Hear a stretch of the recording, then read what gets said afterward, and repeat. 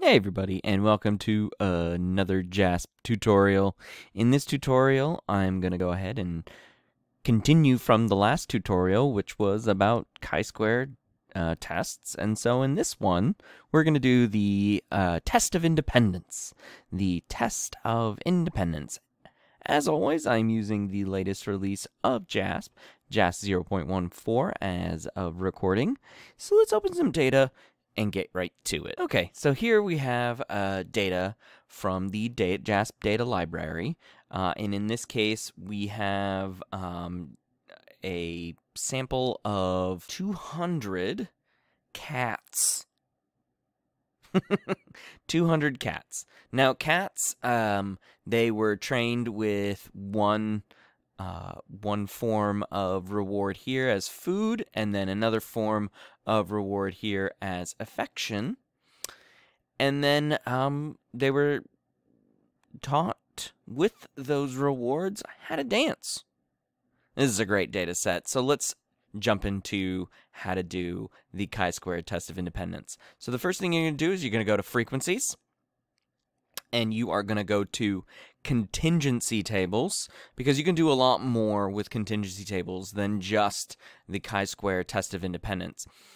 It's the main one you would use contingency tables for, but you don't have to uh, just use it for tests of independence. Okay, so what we're going to do is we are going to fill our rows and our columns with our variables. And you can see that we are looking for nominal or ordinal level variables, and if we had some counts, we could throw in the counts there. Uh, we're not necessarily going to need to throw cat into counts here, so let's we're just going to focus on training and dance. And because training is more uh, antecedent to the dancing, I like to put my antecedents, uh, my my independent variables in the test of independence as rows, and then my uh, consequences uh, or my uh, dependent observation in columns. Now, the test of independence is essentially going is essentially asking the question: Are my expected outcomes uh, the same as my observed outcomes? And um, you'll get a uh, whatever your matrix is, your contingency table, or in some cases, like in SPSS, this is called the cross tabs or cross tabulations table.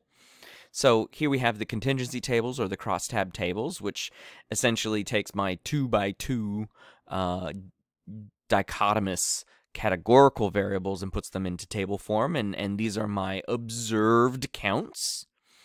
And then down here, without doing any of the options, we get our chi-square test of independence.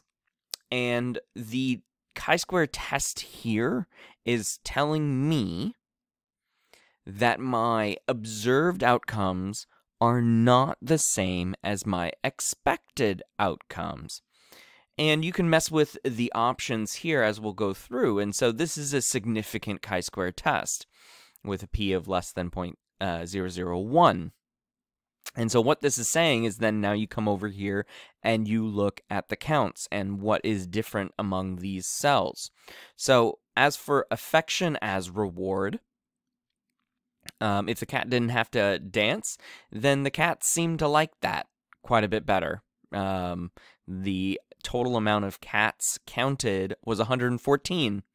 But if we wanted the cats to dance, we want to look at um, which one is better for that. And it looks like when food is considered the reward, we get far more than our expected values here. And let me show you in the cells what was expected here versus what wasn't expected.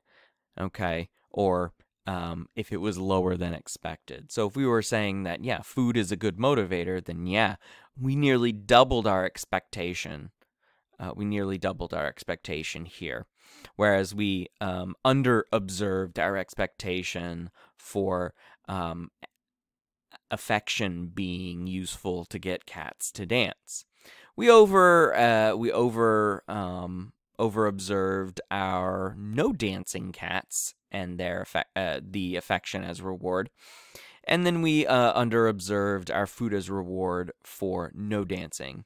But I think one thing that we can pull directly from this is that it's really hard to get cats to dance, let's just say, regardless of it.